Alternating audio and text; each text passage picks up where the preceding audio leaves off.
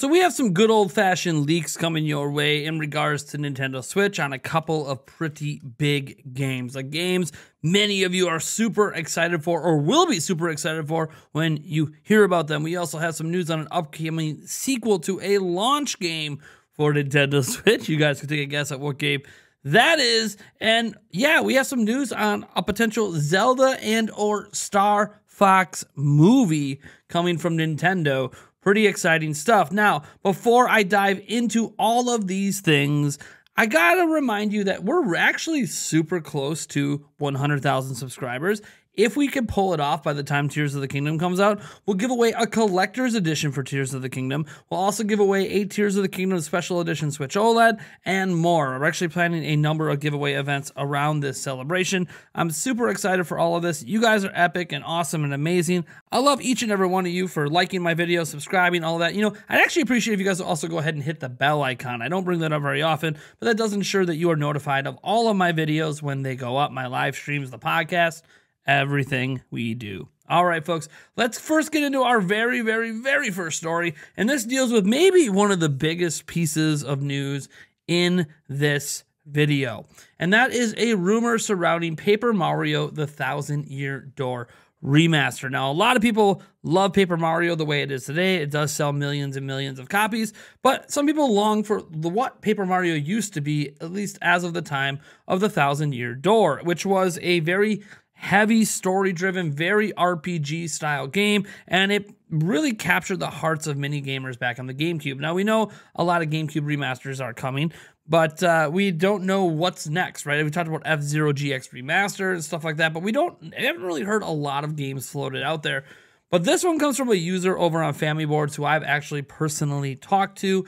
And we're just going to read his post he put over there. So he said, Good evening, Fammy. Hope all of you are having a brilliant day. I usually don't do this as I don't like attention. And I hope even after this, we will focus on the game and not me. As some of you know, I do hobby journalism behind the scenes and research various things for fun. Some accurate Nintendo rumors were reported by YouTubers and other sites in the past partially were based on my research. As I said, I don't like attention and thus always ask everyone to keep me private, which I intend to continue to remain private in those stories. However, now I have something super excited that I'm aware of.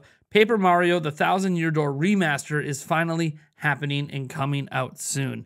I've been in touch with three sources on this. One of them redirected me to the third source, who I hadn't interacted with before, so this was just me cold messaging them on LinkedIn. Because this third source wouldn't acknowledge the release date I had heard from the previous two sources, I'll just leave it as coming soon. I informed both Nintendo Prime and Nate Drake about this privately, there's one more person I have informed, but they wish to remain anonymous.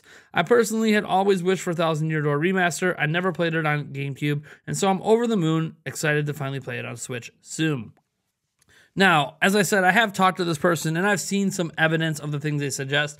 I never really went public with it because for me, I need to have multiple sources in order for me to uh, put myself out there as a public facing source on anything like this. And I don't have multiple sources on this, it's really just this person.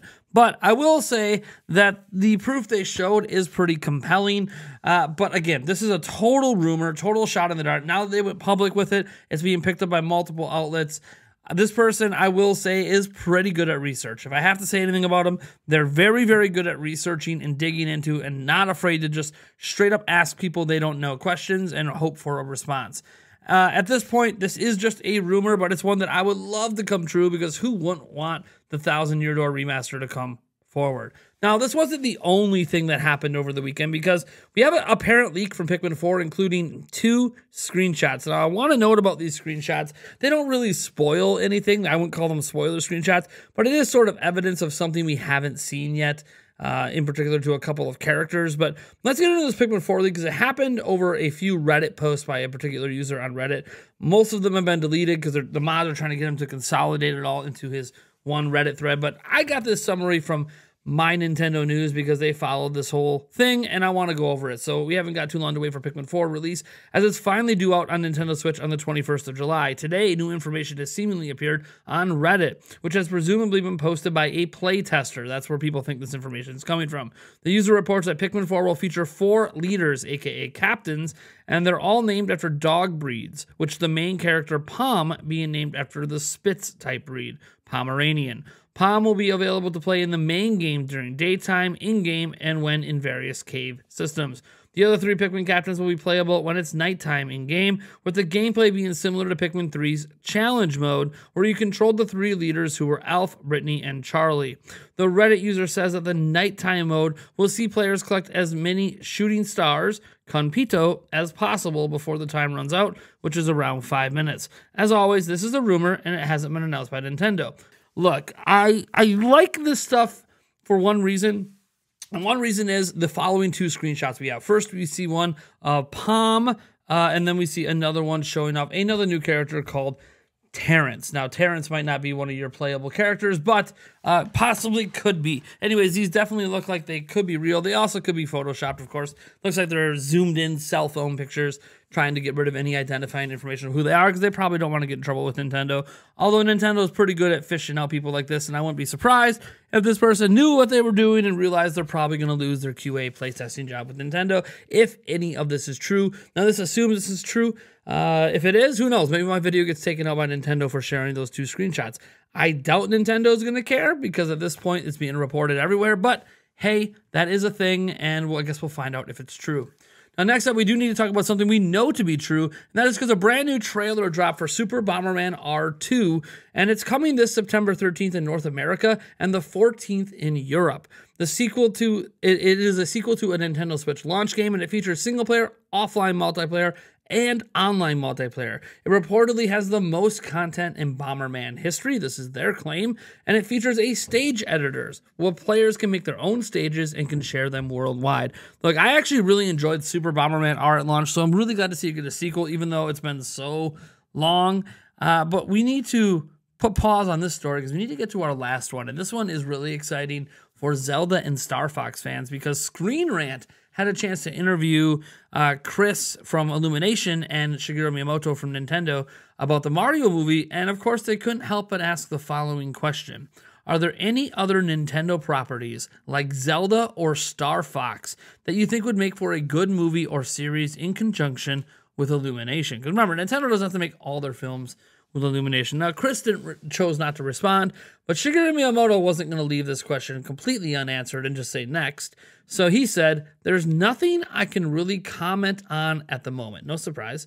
But he didn't stop there. He said, But we started with the fact that we have a shared vision of creation.